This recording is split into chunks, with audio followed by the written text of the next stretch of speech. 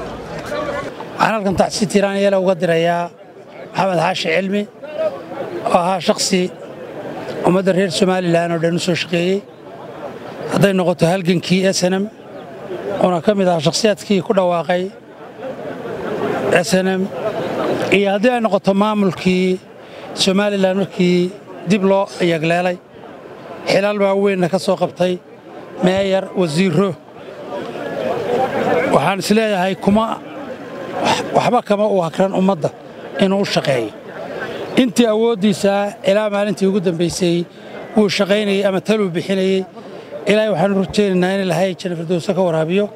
Ummadda iyo carruurtii iyo xaaskii iyo dadkii uu ka geriyoodayna samid iyo allah. Innaa lilaahi wa innaa ilayhi raajicuun. Maanta waxaynu joognaa aaskii marxuum injineer maxamed xaashi cilmi oo magac iyo maamuusba somalilan ku lahaa. Ilaahay naxariista jannaha ka waraabiyo. Keliya waxaan doonayaa inaan aan ku dardaarmo aynu idhaahno. Dhammaanteenna aan iscafino maxamed xaashina ciddii wax ka tirsanaysa ha cafido. Addoon wanaagsan buu ahaa. Astaamihii wanaagsanaana aynu kaga dayanno. oo astaamihiisa wanaagsan waxaa ka mid ahaa wuxuu ahaa nin curin leh daacada hawlkara meesha laga yimi iyo meesha loo socdana yaqaana danta guudna xoogga saara oo aan tiisa gaarkaa saarin. Waa astaamo aad u wanaagsan waa astaamihii hogaamiye lagu yaqaanay ilaahay naxariistii jannaha ka waraabiyo. Ilaahay naxariistii jannaha ka waraabiyo ehelka iyo asxaabta iyo somalilan iyo soomaali oo dhanna ilaahay samiriye iimaana ka siiyo waxaad waxaad arkaysaa wanaaggiisa gobollada geeska afrika ee soomaalidu ay degto oo dhan wadamada ay soomaalidu degto oo dhan geeska afrika oo dhan baa laysaga yimi waad arkaysaa khalqiga taagan ilaahay naxariis jannaha ka waraabiyo waynu u ducaynaynaa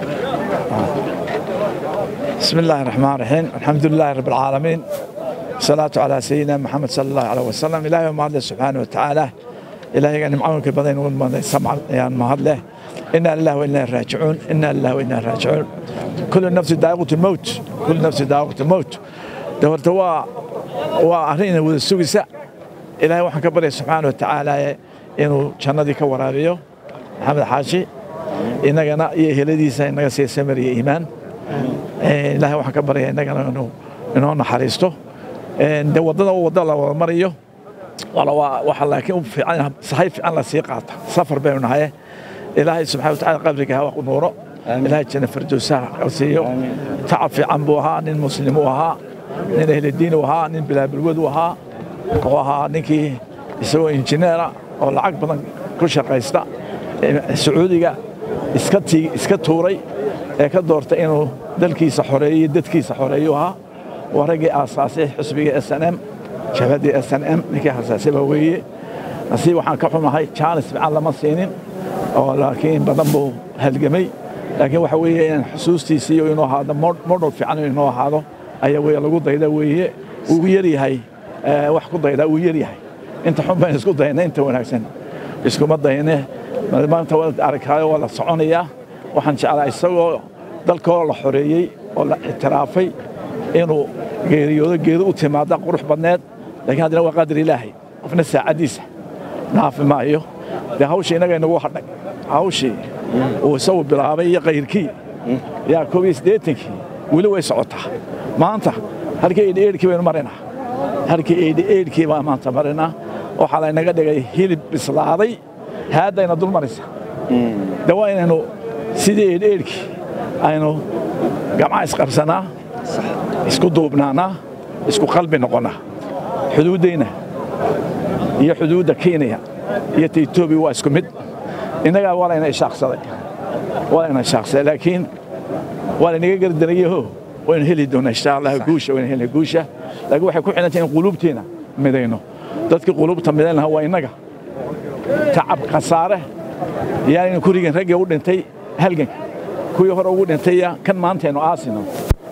Tacabkoodii inaynu khasaarino innaga maanta xilkiisu ina saaran yahay ilaahay nagu soo asturo subxaana wa tacaala ilaahay subxana wataala ummad jecel oo wanaagga safarta oo xumaanta iska nahida ilaahay naga yeelo ilaahay dalkeena dal loo soo haajiro laga haajirin ilahay ka yeelo subxaana wa tacaala ilaahay subxaana wa tacaala dadkeenni dhintay kuwa buka kuwa ciriiri ku jira ilaahay subxaana wa tacaala ha u sahlo kullu nafsin daa'iqatu lmowt ilaahay subxaana wa tacaala baa inoo sheegay in naf waliba ay dhadhamin doonto geerida dhammaanteen waynu wada dhiman doonnaa waynu kala horraynaa uun. Maanta waxaynu halkan u nimi inaynu ku duugno walaalkeen marxuum maxamed xaashi cilmi. Waxaan tacsi halkan uga dirayaa dhammaan shacbiga jamhuuriyadda somalilan geeriga naxdinta le ee ku timi walaalkeen maxamed xaashi cilmi waxaan si gaara u tacsiyeynayaa qoyskii iyo qaraabadii iyo ehelkii uu ka geeriyooday ka baxay. Maxamed maxamed qarankan buu ka dhintay nin weyn buu ahaa hoggaamiye qaran buu ahaa.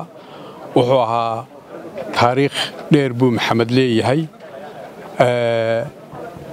Anigu kama mid ahayn dadkii iskuullada iyo waxbarashada iyo shaqooyinkii hore ee isku soo gaadheen. Maxamed saddex nololood buu lahaa noloshii waxbarashada iyo shaqadii dowladnimadii iyo dowladnimadii iyo qarankii soomaaliya la odhan jiray. Marxalad bay ahayd. Marxaladna tii halganka ayay ahayd. Marxaladna halganka markii dabadeed ee qarankan somalilan la dhisay bay ahayd. Saddexdaba taariikh weyn oo qiimo leh buu ku leeyahay. Anugu marxaladdii u horraysay maxamed lama wadaagin laakiin waxaan la wadaagay marxaladdii halganka iyo marxaladdii qarannimada jamhuuriyadda somalilan dhismaheedii marxaladdaa horena maxamed raggii yaqaanay baa ka warramaya. Maxamed wuxuu ahaa qof shakhsiyad wanaagsan dun wanaagsan dadnimo leh. Wuxuu ahaa nin sabir badan wuxuu ahaa nin dulqaad badan wuxuu ahaa nin u adkaysta duruufihii adkaa ee soo waajahay. Dhowr iyo soddon sannadood baan anigu aqaanay. Maxamed markii ugu horraysay aan la kulmay waxayd kun iyo sagaal boqol iyo afar iyo siddeetanka dabayaaqadiisii xilligaas oo ururkii s n m uu ahaa xogayaha maaliyadda maxamed ilaa iyo wakhtigaa ilaa iyo maalintuu godgalay wuxuu ahaa nin sifooyinkiisu aanay guurguurin nin mabda'le aragtidu aaminsan yahay ku adag aan gudadle ahayn oo marba gaadhi raacin wuxuu ahaa maxamed raggii halgankan ururkii snm lo odhan jiray aasaasay. Shantii ninee ugu horreeyey buu ka mid ahaa. Taariikhdaa weyn buu maxamed leeyahay. Addoon wanaagsan oo ilaahay xidhiidh fiican lale oo cibaadaystuu ahaa waxaana ka markhaati kacaysa aaskiisa maanta. Maxamed ilaahay waxaanu ga baryaynaa inuu dembi dhaafo u naxariisto maanta dembidhaaf buu inooga baahan yahay waxa weeye dhammaanteenbana raajicuun kullu nafsin daa'iqatu lmowt naf weliba geerida dhadhaminaysaa maanta waxaynu ku sugannahay aaskii allah u naxariisto. Mujaahid halgamaa mufakir maxamed xaashi cilmi maayirkeennii hore caasimadda hargeysa. Ilaahay ha u naxariisto. Anigoo ku hadlaya afka golaha deegaanka caasimadda hargeysa shaqaalaweynaha dowladda hoose hargeysa iyo shacabka reer hargeysa waxaan ka tacsidaynayaa geerida ku timi mujaahid maxamed xaashi cilmi oo ahaa maayirkii waxqabadka ee caasimadda hargeysa kuna suntan taariikhda hargeysa iyo somalilanba waxaan tacsida tiiraanyada la wadaagaya qoyska iyo qaraabada iyo ehelka iyo shacabka reer hargeysa iyo shacabka reer somalilanba waxaanu ka tacsidaynaynaa geeridaa ku timid marxuumka iyo mujaahidkeenna aynu jeclayn. Ilaahay waxaynu uga baryaynaa waynu ilaahay u weydiinaynaa inuu ilaahay ku casuumo jannatulfardows alaclaa siduu qarankiisa iyo ummaddiisa ugu adeegayna inuu ilaahay jannada ku abaalmariyo. Waxaynu makhraati ka nahay inuu ahaa addoon wanaagsan oo ummaddiisa si daacadnimo ah ugu shaqeeyey. Qof allo qof maanta wuxu sheeganayaana aanu jirin qof u ducaynaya mooyaane. Ilahay waxaynu u baryaynaa jannatulfardows alaclaa ilahay dembigiisa ha dhaafo. Inna lilaahi wa inna ilayhi raajicuun. Inna lilaahi wa inna ilayhi raajicuun. Kullu nafsi daa'iqat almowt marka koowaad waxaan leeyahay ilaahay ha u naxariisto mujaahidkii weynaa maxamed xaashi cilmi maayarkeennii hore wasiir hore siyaasi hore samafare hore. Wax kastoo maanta lagu sifeeya waa hore. Maanta tiisii runtahayd baa timid. Maxamed wuxuu runtii ahaa tusaale wanaagsan. Waxaan ilaahay uga rajaynaynaa camalkiisii suubanaa ee markhaatiga looga wada ahaa cibaadadiisii daljacaylkiisii dadjacaylkiisii samafalkiisii iyo qarankan iyo magaaladan hargeysa wixii uu geystay ee wanaag ahaa ee lagu xasuustay ilaa imika la leeyahay maayarkii ugu horreeyey magaalada wax ka qabtay. Ayaan insha allahu tacaala ilaahay uga baryaynaa inuu ku abaaliyo. Oo abaalkeedii maanta uu godka ku abaaliyo aan ilaahay u rajaynaynaa. Sida kale dadka siyaasadda caanka ku ah ee runtii sida uu la tilmaamay mabda'a ku leh ee aan guurguurin iyada lafteedana wuxuu ah tusaale wanaagsan oo iyadana intayada ka dambaysaa tusaale wanaagsan oo ah waxaa kaloo maxamed aan ku xasuusanaynaa annagoo dee magaaladii hargeysana maamulkeediina ah. Runtii tubtu u jeexay iyo tusaaluhu bixin jiray iyada lafteedana wuxuu ahaa tusaale wanaagsan.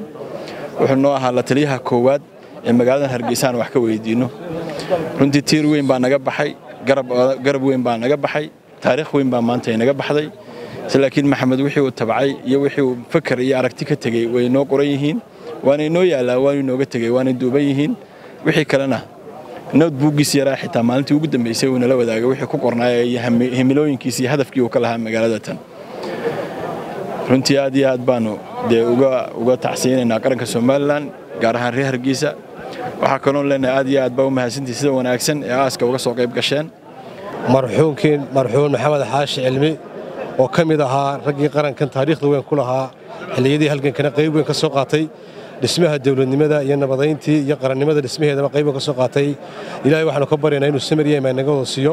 Ilahay waxaanu ka barya inuu qabriga u nuuro qoyskii qaraabadii ehelkii iyo qaranka somalilanna samir iyo maallaha ka siiyo. Maxamed xaashi waxaa lagu xusuusan doonaa dhismaha dowladnimo xafiis kasta oo dowladeedu ka shaqeeyey wuxuu kaga tegey taariikh wanaagsan wuxuu dhisay nidaam dowladeed iyo xafiis shaqayntiisa iyo habraaca loogu shaqeeyo adeegga bulshada si fiican u dhisay.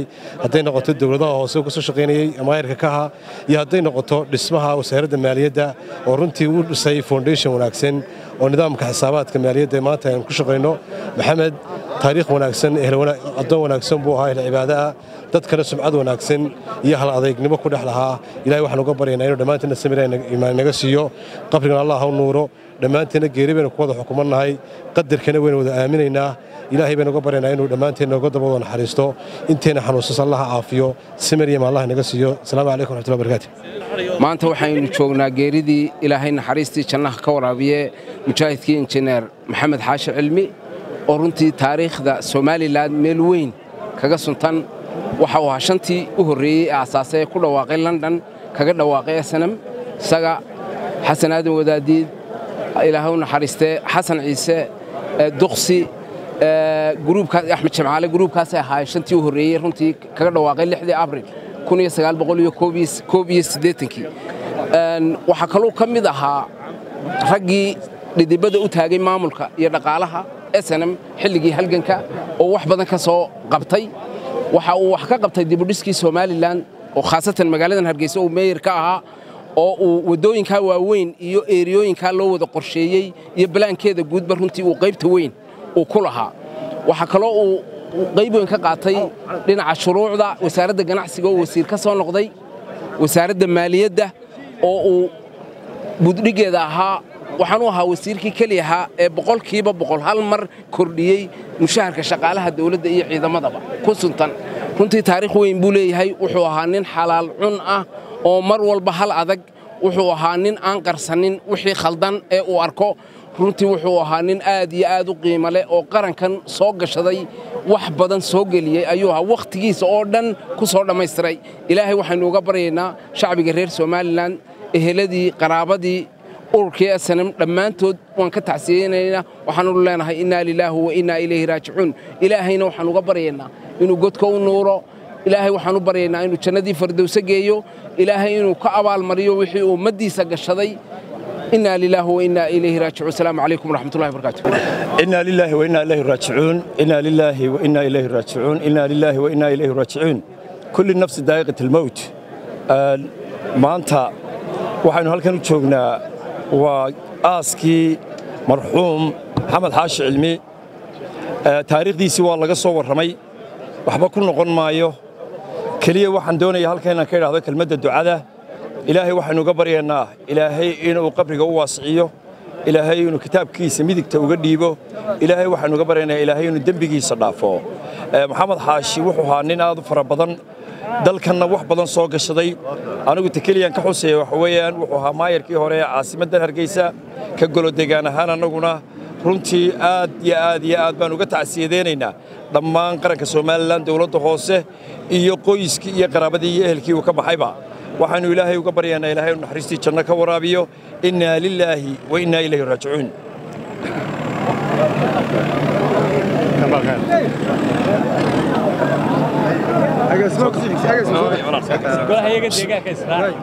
بسم الله الرحمن الرحيم إن لله وإنا إليه راجعون كل نفس ذائقة الموت محمد حاشي علمي markuu wasiirka maaliyadda ahaa dadkii u dhowaa ee la soo shaqeeyey muddo sannadiyo dheeraada ayaan ka mid ahay maxamed xaashi cilmi haddii las idhaahdo taariikhdiisa sheega saacad laguma soo koobi karo maalina laguma soo koobi karo laakiin mid iyo laba ayaan ka xusi doonaa. Maxamed xaashi cilmi waxaa lagu xasuustaa aasaasayaashii eslam inuu ahaa. Maxamed xaashi cilmi waxaa lagu xasuustaa maayirkii caasimadda hargeysa hagaajiyey inuu ahaa. Maxamed xaashi cilmi waxaa lagu xasuustaa inuu ahaa magacyada maxamed mooge koodbuur degmooyinka shanta degmo ee waaweyn. Ninkii magacyadaa bixiyey ayuu ahaa ee isdhaafiyey koodbuurna tusaale ahaan koodbuur keenay axmed dhagaxoo kalena daantaa keenay. Ujeeddada uu ka lahaana markaan weyddiiyey waxay ahayd in qabyaaladda lagu yareeyo.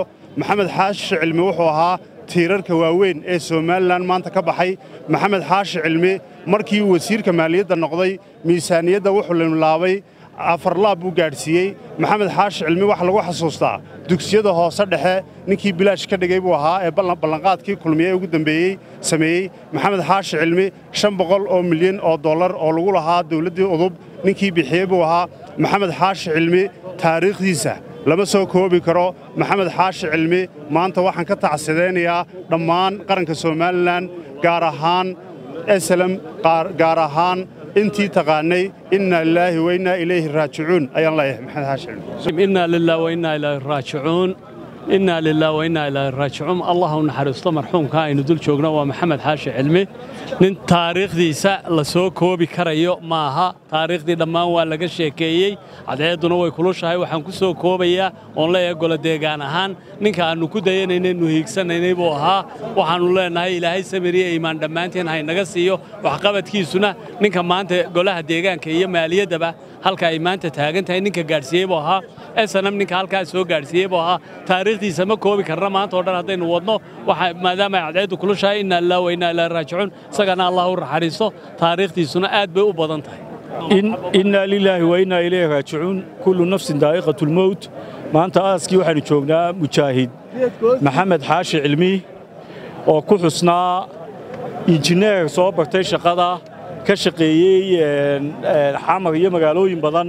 Markii dambena aasaaska iyo guddigayaashii esanam ahaa ahaa kooxdii ugu horraysay sacuudiga ka bilowday raggii ugu halkaadkaa ka mid ahaa kadib london kaga dhawaaqday kadib etoobiya soo galay sidii uu ahaa wasiirka dhaqaalaha u haya ee sanam uu ahaa kabacdi waddanka markii la soo galay maxamed xaashi wuxuu ahaa maayirkii ugu horreeyey ee salka u dhigay dawladnimada dawladda hoose. Hadday noqoto cashuur la qaado hadday noqoto nambaradii oo la nambariyo saldhigyadii iyo sariibadihii hawshaasoo dhan u qabtay.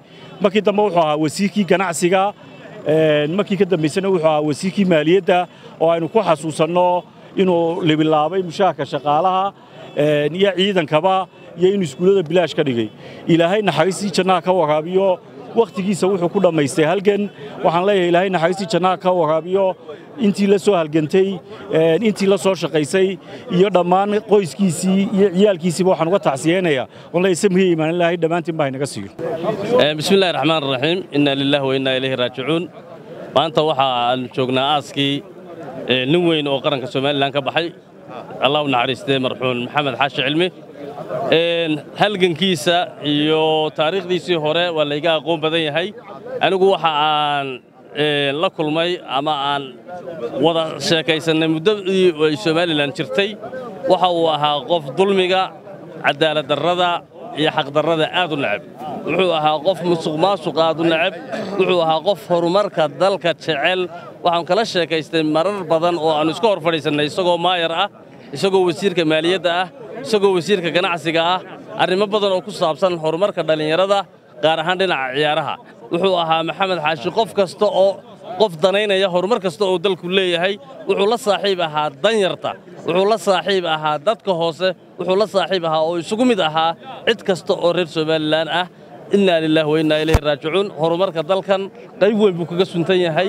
Halganka dalkan qaybta ugu weyn buu kaga suntan yahay. Nidaam kasta oo ay somalilan soo martay qayb laxaad buu kaga suntan yahay. Innaa lilah wainaa ilayhi raajicuun. Kullu nafsin daa'iqatu lmowt وإنما توفون أجوركم يوم القيامة فمن زحزح عن النار وأدخل الجنة فقد فاز وما الحياة الدنيا إلا متاع الغرور إلهي سبحانه وتعالى يوم باندمان نفك استوى تجيسة ما أنت وحن شوقنانين أضيا رانتي قرن كان قيمة يقايا بدن كلها geeridiisii maxamed xaashi cilmi ugu horrayn ilaahay subxaana wa tacaala naxariistiisana allaha ka waraabiyo dembigiisana allaha dhaafo ehelkii iyo qaraabadii iyo qaranka guud ahaana samariya imaanta ama allaha ka siiyo maxamed xaashi cilmi wuxuu ahaa qof wanaagsan cibaadada ku wanaagsan xalaasha iyo xaaraanta dhowristooda markaasi aad ugu wanaagsan. Wuxuu ahaa qof halkuu tagaba wax ka qabta waxqabadka jecel dulmiga nacab cadaaladda jecel cadaaladdarrada nacab wuxuu ahaa run ahaantii qof dowladda hay'ad kasta uu qabtaba wax badan ka qabtay laguna xasuusan doono waxyaabo badan. Ilaahayna subxaana wa tacaala tiisii buu maanta qadara ilaahay naxariistiisana allah ka waraabiyo samir iyo iimaanno guud allah inaga siiyo. Innaa lilaah innaa lilaahi wa innaa ilayhi raajicuun. Waxaynu joognaa maanta waa aaskii abtigay injineer maxamed xaashi cilmi oo aniga ah khaastan aan u tacsiyadaynayo faamili ahaan waa abtigay. Marka taariikhdiisa rag badan oo halkan iminka ka sheekeeyey baa jira. Taariikhdiisa dib ugu noqon maayo rag badan ayaa hore uga soo sheekeeyey laakiin anugu waxaan ahay ase faamili ahaan inaan u tacsiyadeeyo reerkayagii uu ka soo jeeday abtiyaaladay anigoo ah sayid cali moxamed cilmi waxaan leeyahy inaa lilaahi wa innaa ilaahi ilaahay qabriga ha u nuuro. Ehelkii asxaabtiina ilaahay samir iyo iimaan ha ka siiyo. Innaa lilaahi wa innaa ilayhi raajicuun kullu nafsin daa'iqatu lmowt halkan waxaynu u nimi geeridii maxamed xaashi cilmi ilaahay u naxariisto inaynu u ducayno oo aynu wanaaggu lahaa ugu markhaati furro oonu ilaahay jannada u weyddiinno ayaynu isugu nimi innaguna aynu ehelkana u weyddiinno sabir iyo iimaan iyo wax khayr qaba inuu ilaahay ugu beddelo. Halkiisii qarankana uu soo shaqeeyey ilaa lixdanaadkii aanu mar qudha ka nasan oo laga bilaabo dekedda berberaa dhismaheedii oo ahaa ninkii dhisay ilaa iyo imminka oo uu geeriyooday aanu maalin qudha ka nasan halgankeeda iyo dhismaheeda iyo nabadaynteeda iyo qurxinteeda iyo walaalaynteeda. Intaba aanu ka nasan. Waxaanu leenahay ilaahay jisaaga khayrlah kaa siiyo ilaahay ha kugu abaalmariyo jannada firdowsa ee ehelkiiyo dhammaanteenna. Samarii baana ilaahay naga siyaami innaa lilaahi wa innaa ilayhi raajicuun. Ilaahay waxaanu uga baryaynaa maxamed xaashi cilmi ee ilaahay ka waraabiyo jannooyinkiisa waasica. Ilaahay inuu janno firdowsa geeyo. Waxaan kalona halkan ilaahay uga barya ilaahay samri imaan ka siiyo qoyskiisii iyo qaranka somalilan iyo ummadda somalilanba wuxuu halgamaa u soo dadaalay oo guntiga u xidhay inuu dalkan iyo dadkiisaba ka xoreeyo oo u soo celiyo gobonnimadii inaga luntay lixdankii. Waxaanu leenahay khayr badan buu sameeyey ningeesiya buu ahaa aqoon badan baanu u lahaa. Waxaan leeyahay ilaahay samrian allaha ka siiyo runtii nin iimaan leh oo shaqadiisa ka adag oo muxuu ahaaye dalkan haddii uu muxuu ahaye waqtigii ay tahay xorimada loo dagaalamaya hadday iminka tahayba qayb weyn ka qaatay buu ahaa dhammaanna waxaan ilaahay uga baryayaa dadka reer somalilan ka siiyo wasalaamu calaykum. Waxaynu joognaa geeri tiiraanye leh geeri naxdin badan leh. Walaalkeen maxamed xaashi cilmi. Maxamed wuxuu ahaa mujaahid qarankiisa u soo halgamay. Wuxuu ahaa aqoon-yahan waddankiisa tacab badan geliyey. Wuxuu ahaa muwaadin saalixa. Wuxuu ahaa xaafidulqur'aan maxamed waxaynu ku xasuusan karnaa waxyaabo fara badan uu qaranka jamhuuriyadda somalilan uu soo qabtay insha alla maanta tiisiiba timi. Waynankaa xabaasha ku rognay waynankaa ciidda hoos marinay. Insha allah waxaynala gudboon inaynu u ducayno inaynu mar walba xasuusanno innakuna inaynu halkaa gelayno. Qofka bini'aadankii waa geeri nool weeyaan. Maalin bay noqonaysaa tiisii imanaysaa.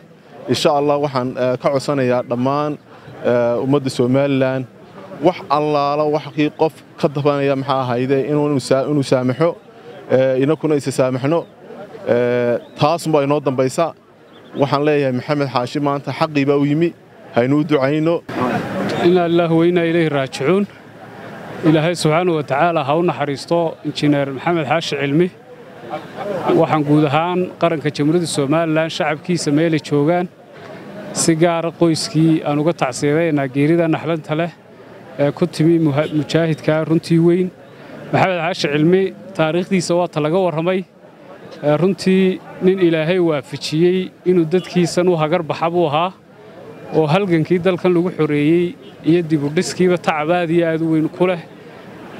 Maanta isaguu geeriyooday midhihii iyo tacabkiina runtii innagaa hayna waajibku innagu ina saaran yahay inaynu u ducayno ay ugu horrayso iyo sidoo kale inaynu ku dayanno nin ilaahay subxaana wa tacaala sifooyin aad iyo aad u qiimo badan ku mannaystay buu ahaa. Waxaynu leenahay gaar ahaan dhallinyarta waxaa laga barto nin aamina oo ehludiina oo siyaasiya oo haddana runtii sifooyinku leeyahay aad iyo aad u cajiib badan yihiin oo halaadaygu cadaaliya buu ahaa. Ilaahay ha u naxariisto. Tacabkii uu qaranka iyo dadkiisa geliyeyna ilaahay runtii ha u weeleeyo. Aniga si gaara wuxuu ka mid ahaa dadkaan la fadhiisto xog waraysto runtii aan waxa weye taliya tusaalaba aannu ka qaadanno runtii. Ilaahay subxaana wa tacaala ha u naxariisto qaranka iyo shacabkana samiree iimaan jamiilaha ka siiya. Inaa lilah weyna ilayhi raajicuun. Waxaynu maanta somalilan oo dhan iskugu timid waxaynu isugu nimid wax weeye waa aas qaran oo aynu samaynayno haliyeygeennii halgamaageennii maxamed xaashi cilmi raximallaah allah u naxariistee. Taariikhdiisa waa laga warramay innagu maanta ergaynu nahay. Waddanka gobolladii o dhan baa laysaga yimid xalqiga ka soo qayb galay baynu arkaynaa. Ergada u timid oo yacnii waxqabadkii u gashaday dalka awgii ugu timid baynu arkaynaa. Ilaahay waxaynu uga baryaynaa. Ilaahay naxariistii jannaha ku banaysto. Oo naxariistii jannaha ka waraabiyo. Ilaahay waxaynu ka baryaynaa inuu nebi maxamed ku xidhiidhiyo calayhi salaatu wasalaam jannatulfardowsa ayaynu ilaahay uga baryaynaa. Ergaynu maanta u nahay. Taariikhdiisa waa laga warramay oo halgankii ballaadhnaayo dalkan u soo galay waa laga warramay oo raggii ay wada halgameen baa ka warramay. Waxaa laakiinse aynu xogaa yaro dul caranaynaa intii dambe ee soomalilan markii lagu soo noqday somalilan waxa uu noqday ugu horrayn duqii caasimadda jamhuuriyadda somalilan meeyarkii caasimadduu noqday. Maalintaa qorshihuu ku tallaabsaday ummaddu way la yaabanay. Waxaa lalaa malaa waxan ma suurtogelayaan laakiinse wuxuu kaga dhameeyey waxqabad rasmiya buu kaga dhameeyey waxa uu sameeyey qorshihii ugu weynaa ee casriga ahaa ee magaalo loo qaado. Innagoo iyabiba ku jirna ayaabuu sameeyey town bileenkii ugu weynaa wakaa maanta aynu jidka boqolyo kontonka marayno ee labada boqol marayno. Yacnii waxa uu sameeyey town bileenkii magaaladii wuxuu sameeyey nidaam buu sameeyey hargeysa. Waxaa kaloo uu sameeyey saldhigyadii bulayska o dhan buu sameeyey. Iyo rugihii waxaa kaloo uu sameeyey. Allah u maxamed xaashi. Waxaa kaloo uu qabtay. Goobihii adeegga bulshada oo dhan buu si fiican u sameeyey. Halkaa marka laga soo gudbo xilkii labaad ee u raacayay ahaa xilkii wasiirka maaliyadda.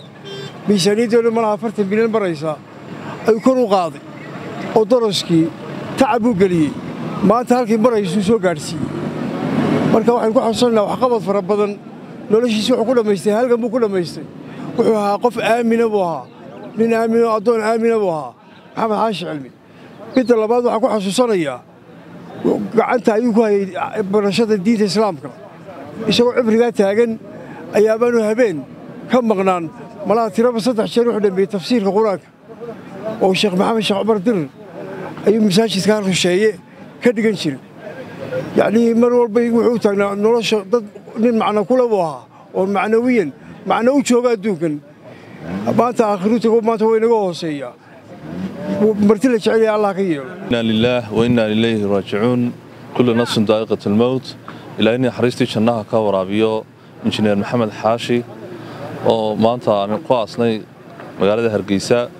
Kullu nafsin daa'iqat almowt ugu horrayn waxaynu ka tacsaynaynaa eheladii iyo qaraabadii iyo qaranka jamhuuriyadda somalilan ee uu ka baxay injineer maxamed xaashi oo ahaa halgamaan naftiisa iyo wakhtigiisa tacab badan soo geliyey runtii aasaaskii jamhuuriyadda somalilan ka mid ahaa aasaasayaashii ururkii dibuxoraynta qaran ee snm ka mid ahaa mas'uuliyiintii qarankan u adeegay hadday noqoto markii uu ahaa markii dowladnimada somalilan la aasaasay duqa caasimadda hargeysa uu ahaa waxaa lagu xasuustaa sidoo kale waxqabadkii markii uu ahaa wasiirka maaliyadda. Waxa uu ahaa mas'uul qarankiisa u soo adeegay ilaahay naxariista jannaha ka waraabiyo. Waa mas'uul qaranka ka baxay oo ummadda reer somalilan ka baxay. Wuxuu tusaale u yahay runtii sida qofku marka ummaddiisa u adeego si daacadnimo ugu adeego in uu noqonayo qof qaran oo ku suntan qarannimada. Waxaynu ilaahay uga rajaynaynaa inuu ilaahay naxariistiisii iyo jannadiisii ka waraabiyo ehelkiisii iyo qaraabadii iyo qoyskii iyo qaranka somalilan iyo ummadda soomaaliyeedna runtii aanay runtii aanu leenahay samir iyo iimaan dhammaantoodba ilaahay haynaga wada siiyo. Maxamed xaashi cilme taariikhdiisa kolley waa laga sheekeeyey oo dad badan baa dee runtii dee ka warramay. Waxaynu ku xasuusannaa runtii inuu ahaa nin go'aan adag oo runtii qiimo badan oo runtii ku dhiirada waxyaalo badan oo runtii aanay ku dhiiran karin madaxda kale. Marka wixii uu qabtay ee qarankaa ka markhaatiya oo ilaa iyo dee jabhaddii intuu soo jabhaday maqaranaysa ku jiray halganka iyo dibudhiskii qarankeenna jamhuuriyadda somalilan runtii inuu mar walba tacab badan geliyo oo ahaa waayeelka ama dee manhajka loo noqdo runtii somalilan buu ahaa. Marka kolley naf waliba dee way dhalnimadiisa mowdka ilaahay waxaynu uga rajaynaynaa naxariistiisii janno ilaahay inuu siiyo runtii uu jannooyinkiisa dee ka waraabiyo dee ummadda somalilanna runtii iyo ehelkiisa iyo qaraabadiisa iyo qoyskiisiina samir iyo iimaan ilaahay ka siiyo. Ayaynu ilaahay ergo uga nahay. ayaynu ilaahay ergo uga nahay. Marka intaasaan ku soo koobayaa wasalaamu calaykum waraxmatullahi tacaala wabarakaatu innaga maanta inaynu u ducayno oo aynu alla barino oo aynu erge uga gallo ilaahay subxana watacaala maanta maxamed xaashi naga mudan yahay inaguna leeyahay ha yeeshe waxaa weeye maxamed xaashi wuxuu ahaa iyo xaaladdiisaba runtii markhaati furka waynu nagu leeyahay laakiinse xaqiiqada ilaahay baynu u daynaa subxaana watacaala haddiise aynu malaheyna ka hadallo ilahay waa xaqiiqada ogsoone malaheyna maxamed nin ahlu cibaadaa oo ahlu qur'aana oo dhowrsoon oo cafiifa oo maanta ugu daranee ummadda haysatee aafada haysta waxa weeyaan ummadda xoolaheedaasi aan xoolaha ummadda ku leexanin markhaatiga anigu horta maxamed xaashi maanta anu haya kaa weeyi. Maxamed in badanna runtii waanu isugu nimid nolosha in badanna waanu isugu nimid meelo gooba oo hawle ka socdaan. Maxamed waxa weeyaan marka laga tago howlaha adduunyada maanta ta aakhirada u taagani waxa weyaan maxamed wuxuu ahaa nin markuu salaada subax tukado hawsha ugu horraysa uu qabtaa ay tahay musxafka ilaahay inuu kala furo oo qur'aankiisa horta uu akhriyo. Intaan hawl kala qaban duruuf kasta oo adag oo uu ku jiro may dhici jirin maxamed inuu jiskiisa qur'aanka ee subaxa kabacdu akhriya inuu ka tago. Maalmahay ugu adkayd nolosha ee duruufuhu ugu adkaayeen? Ee dhibaatooyinka ugu badnaayeen? Oo runtii aanan jeclay maanta halkan kaga sheekeeyo laakiin anigu aan goobjoog u ahaa ayaan garanaya salaad subax dabadeed kabacdii maxamed xaashi. Geed hoostii iyadoo la balanbalsan yahay oo la yaacayo oo la jabay oo la soo eryaday isagoo meel la fadhiya oo kitaabkiisa iska akhrisanaya subax dabadiisa. Hawdkeenu garanayno maxamed xaashi ilahi waxaan ka barya ilahi subxana wataala qur'aankii badnaa akhri jira inuu ka aqbalo ilahi saasaan uga baryaya ummadda ammaanadii u qaaday ee runtii looga wada markhaati looga wada yahay inaan waxba kaga leexanina ilaahay subxana wataala maanta inuu ku abaaliyo cibaadadiisii iyo sidii hore khayrku ahaa lahay maanta inuu ku abaaliyo saasaan maxamed uga baryayaa ummaddana waxaan leeyahay waxaynu u baahannahay boqolaal maxamed oo ammaano leh oo asturan oo ceebla oo hantida ummadda dhowra maanta halkaynu ka jabnaynu ka baanay waxa weeye shilinkaa ummadda la xalaashaday marka ilaahay waxaanu ka baryayaa ilaahay subxana watacaala inuu maxamed xaashiye badan ilaahayna siiyo. Asalaamu calaykum waraxmatullahi wabarakaatu inaa lilaahi wa innaa ilayhi raajicuun walaalkeen allah u naxariisto maxamed xaashi injineer maxamed xaashi cilmi. Oo maanta tiisii ay noqotay aaskiisii aan joogno. Ilahay waxaanu uga baryaynaa allah subxana wataala u naxariisto ilahay waxaanu weydiinaynaa qabriga inuu u nuuro. Beer uga mida uga dhiga beeraha jannada ah maxamed xaashi waa nin aanu isnaqaanay aqoon dheer aan isku lahayn nin toosan oo ahlulcibaado ah oo xalaal cun ah oo mas'uulah ayuu ahaa. Hawlo badan isku mid waxaa ka mid ah hawlaha waxbarashada inuu aad u danayn jiray dad da'yara oo dhallinyara oo lexjeclo dalka iyo diinta inay soo baxaan. Dadaalkaa dheerka ayuu geliyey. Ilahay waxaanu uga baryaynaa inuu ilahi subxana wataala qabriga u nuuro ehelkii iyo qaraabadii uu ka baxana waan ka tacsiyeynaynaa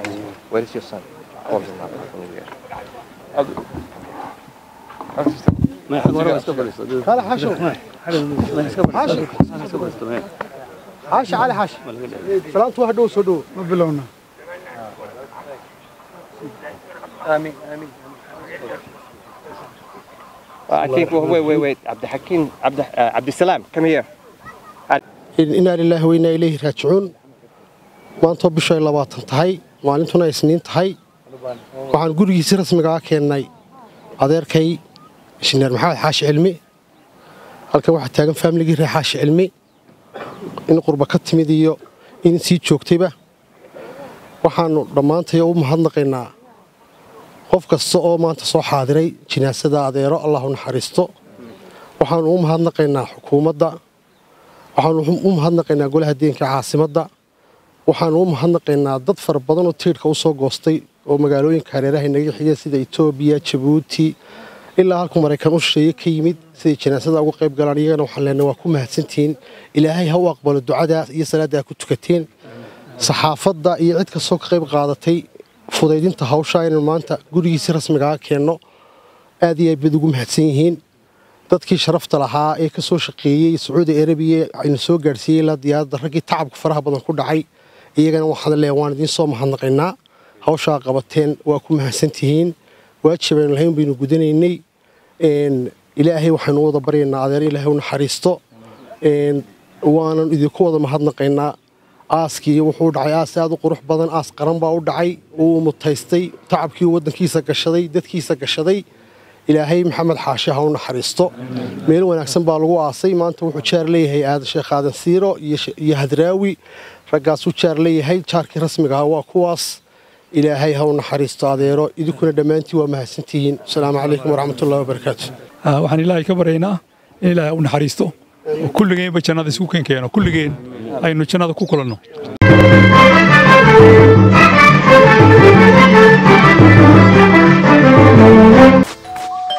Maasha allah soo dhowaada la jaanqaad shirkadda telesom. Maxmil waxay kuu diyaarisay adeegga internetka ay faibar optiga kaasoo xawaarihiisu kala go' lahayn. Waa guji waa ishaa biligteeda.